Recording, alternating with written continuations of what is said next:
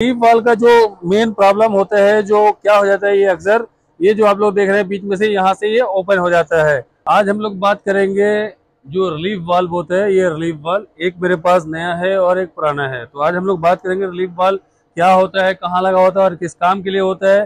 किसी भी एच में चिलर सिस्टम में ये लगा हुआ हो सकता है, जो कि आप लोगों को ये बहुत प्रॉब्लम क्रिएट करेगा अगर आप लोग इसके बारे में नहीं समझेंगे तो। इसलिए वीडियो बहुत ही काम आने वाली है। लास्ट तक देखें, स्किप ना करें। और अगर वीडियो अच्छी लगे तो ज़रूर लाइक कर दें, चैनल को सब्सक्राइब कर दें और बेल नोटिफिकेशन पर क्लिक करके और पर सेलेक्ट कर दें, अपने दोस्तों से भी शेयर करें। और अगर आपके दिल में, मन में कुछ क्वेश्चन हो इसके रिलेटेड या कोई भी एच बी चिलर से रिलेटेड चाहे वो ट्रेन का हो योर का हो कैरियर का हो डाइकिन का हो, कोई सा भी हो, या पैकेज ऐसी हो तो वो भी आप लोग कमेंट कर सकते हैं। मैं हमेशा कोशिश करता हूँ आप लोगों के कमेंट पे आंसर करने का, नहीं तो उसके ऊपर वीडियो बनाने का। तो आज मैं शुरू करता हूँ आपको बताना कि ये जो आप रिलीफ वाल्व देख रहे हैं, ये वैसे ट्रेन का चिलर है एयर कूल्ड चिलर है, और ये जो कंप्रेसर है, ये रेसिप्रोकेटिंग कंप्रेसर है।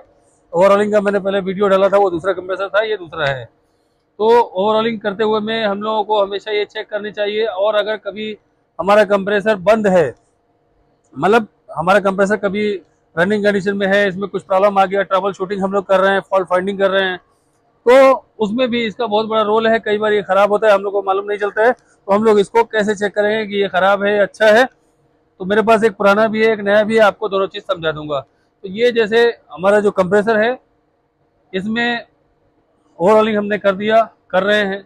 इसके अंदर जो कई बार क्या होता है योर का कंप्रेसर जो होता है, उसमें यहाँ पे होता है, किसी में यहाँ पे भी होता है। अलग अलग जगह पे उसमें लगा हुआ हो सकता है, इस तरीके से अंदर ये टाइट रहेगा। उसमें वो चार चार ये उसमें जो चारों तरफ़ प्लस का निशान ऐसा होता है, खोलने के लिए, वो चाबी लगाने के लिए भी यूज़ किया जाता है। तो इस तरीके से ये रिलीफ बार लगा हुआ होता है इसके अंदर। लेकिन जो ये ट्रेन का कंप्रेसर है तो यहाँ पे ये जो डिस्चार्ज लाइन आप लोग देख रहे हैं, इसके अंदर ये टाइट होता है। तो रिलीफ वाल का जो मेन प्रॉब्लम होता है, जो क्या हो जाता है ये अक्सर, ये जो आप लोग देख रहे हैं बीच में से, यहाँ से ये ओपन हो जाता है। ओपन क्यों होता है? हर कुछ में आप लोग वाटर लाइन में या गैस लाइन में या किसी भी लाइन में प्रेशर लाइन में देखेंगे तो रिलीवर दिया जाता है। इसीलिए कि अगर इसका प्रेशर हाई हो जाएगा, इसका प्रेशर अगर 370 से ऊपर जाएगा तो उसमें क्या करेगा फिर ये? क्योंकि बर्दाश्त नहीं कर सकते, बाद में ये एक तरह का सेफ्टी डिवाइस है कंप्रेसर के लिए। ये हकीकत है चिलर का ये सेफ्टी डिवाइस ये भी है कंप्रेसर का।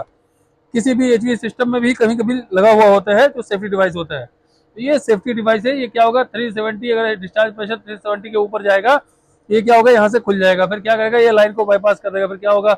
इधर ये गैस वापस आ जाएगी और कंप्रेसर का जो सक्शन और डिस्चार्ज ज़्यादातर में लेबल हो जाता है। तो उसमें आप लोगों को मालूम चले जब सक्शन इसका ज़्यादा हो रहा है डिस्चार्ज कम हो रहा है, और इसके अंदर अगर आपका इधर भी ठंडा नहीं हो रहा है नॉर्मल है हीट है तो उससे मालूम चलता है हमारा जो रिलीफ वाल्व है, वो ओपन हो गया है। तो इसको हमेशा आप लोग ओवरऑलिंग के टाइम में खोल के देख लिया करें। वैसे ही इतना खराब नहीं लेकिन फिर भी हम लोग नया लेकर के आए हैं, हम लोग नया चेंज कर देंगे। ये मैं आप लोगों को दिखा देता हूँ, नया ये देखिए, ये नया पीस है। इसको हम लोग अभी इसमें इंस्टॉल कर देंगे। यहाँ से आप लोग देख लें। तो इस तरीके से हम लोगों को ये लगा देना चाहिए चेक कर लेना चाहिए चेंज कर लेना चाहिए। ये कई बार इसमें प्रॉब्लम होता है, जिसके कारण हमारा कंप्रेसर बार बार हमको खोलना पड़ता है या कभी कंप्रेसर बंद भी रहेगा तो हम लोगों का अगर ये खराब रहेगा तो उसमें प्रॉब्लम आ सकती है। तो इसलिए हम लोगों को हमेशा ध्यान में रखना है और कहीं पे भी हो सकता है। ज़रूरी नहीं है कि डिस्चार्ज लाइन में लगा होगा। वैसे यहाँ पे लिखा हुआ है रिलीफ वाल यहाँ पे एरो दिया हुआ ऊपर से ही हम लोग पढ़ सकते हैं कि रिलीफ वाल इधर लगा हुआ है। लेकिन कई जगह में आप लोग हेड खोलेंगे तो वहाँ पे आप लोग को मालूम चल जाएगा कि वहाँ पे रिलीफ वाल लगा हुआ है। तो आप लोगों ने समझ लिया होगा रिलीफ वाल क्या है और कहाँ पे यूज़ होता है और क्यों यूज़ होता है।